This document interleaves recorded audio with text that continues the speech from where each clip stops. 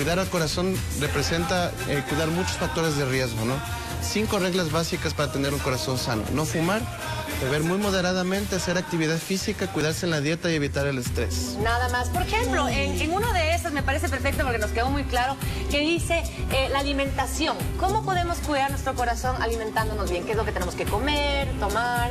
Bueno, según la Organización Mundial de la Salud, es importante que una persona lleve una dieta equilibrada en base de frutas y vegetales. Hay una dieta mediterránea que se llama la dieta DASH, que basa por lo menos en un consumo eh, de dos tipos de frutas diarias, un consumo ilimitado de vegetales, fibras, proteínas y también las grasas buenas de menor cantidad. Entonces es importante tener un equilibrio en, ese, en esa situación. Doctor, yo creo que es importante recalcar y que nuestras socias y socios sepan que no todos los síntomas o malestares de alguna complicación con el corazón tienen que ver necesariamente con lo que se ha difundido, que es el dolor en el pecho, el dolor en el brazo, sino que muchas veces son falta de aire, mareos, dolores muscula- musculares, ansiedad. Entonces, ¿nos puede decir cuáles son los síntomas principales que ya en casa nuestras socias, ojo, no estamos diciendo queremos que lleguen a decir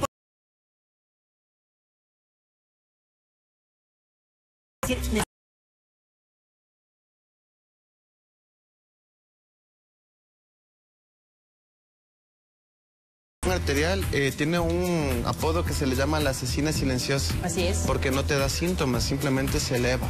Y se descubre de pronto cuando vas a donde algún otro médico para ver alguna cuestión y te miden la presión. Entonces es importante que cuando vayan al médico pues pidan que su presión sea, sea medida, ¿no? Eso es importante. Y síntomas importantes, eh, dolor en el pecho es muy importante que sea analizado. Eh, hay otra enfermedad que se llama la insuficiencia cardíaca que te da falta de aire, hinchazón en las piernas. Algunas personas pueden eh, perder el sueño, por ejemplo. E inclusive hay algunos síntomas como disfunción sexual que pueden estar relacionadas con enfermedades cardiovasculares. Alguna vez me decían y me quedó la curiosidad que el corazón sano no se siente, al menos que haya alguna agitación, alguna exaltación. Esto es verdad. Me decían, si tú te acuestas y escuchas o sientes el corazón es porque ya hay alguna pequeña falencia.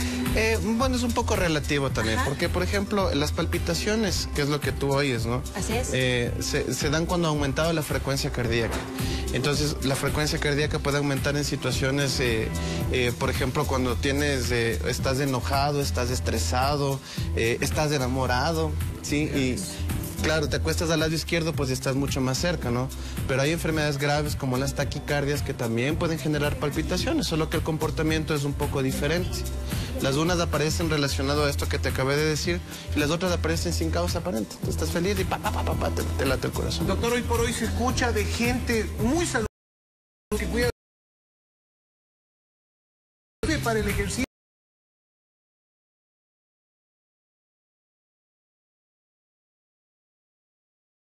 Eh, ahí hay un...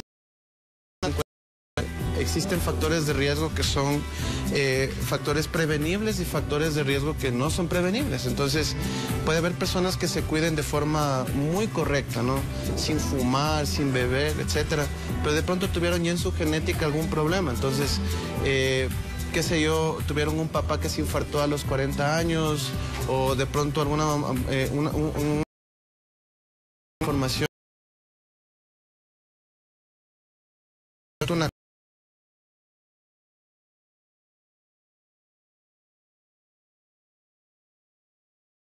genética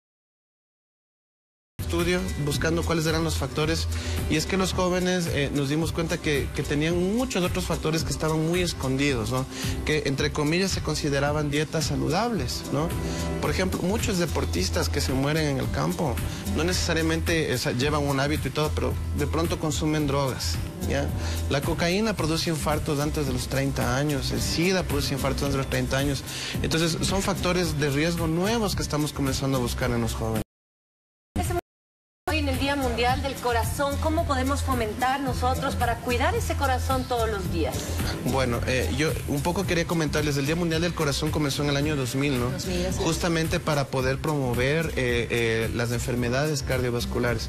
Cada año nosotros tenemos una, una, un eslogan. Entonces, este año eh, el eslogan dice corazones sanos donde quieras, cuando quieras. Entonces, ¿cómo lograr esa cuestión? Yo creo que es importante que, que las personas eh, se, vayan, se vayan enterando enterando, vayan conociendo cuáles son los factores, cuáles son las enfermedades. Eh, existen muchos sites, ¿no? Eh, nosotros aquí tenemos la Sociedad Ecuatoriana de Cardiología, tiene un site que es el scardios.org, donde pueden entrar y ver mucha información y yo creo que el internet es una herramienta muy importante para poder para poder informarse. Inclusive yo les he traído unos folletos que, que hicimos para el Día Mundial del Corazón, en donde se habla de algunas enfermedades y ya ha sido difundido por todo el país. No, como usted nos decía, no hay que esperar a sentir un síntoma y hay que hacerse pero quiero hacerme un electro, quiero hacerme un chequeo del corazón, ¿con qué frecuencia lo debería hacer? A ver, sirve? Exacto. O sea, yo creo, yo creo que es muy importante que eh, ustedes vayan enfocando primero en, eh, existen tablas de riesgo, ¿no? Antes de poder hacer exámenes.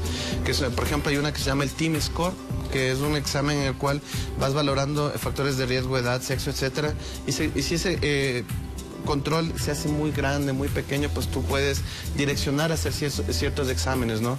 Generalmente los cardiólogos y muchos clínicos hacemos estos exámenes direccionados a síntomas. Entonces, eh, yo creo que con un chequeo al año, pues es suficiente. Perfecto. Muchísimas gracias, doctor Bolívar. Esperamos tenerlo pronto aquí con nosotros en el estudio mañana. Yo quería, yo quería también eh, hablar un poquito esta cuestión de, de los avances rápidamente, justamente porque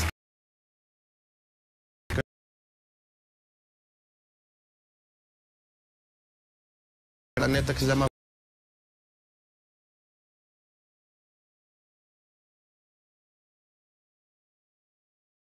Muy bien, pues continuamos con el querubín.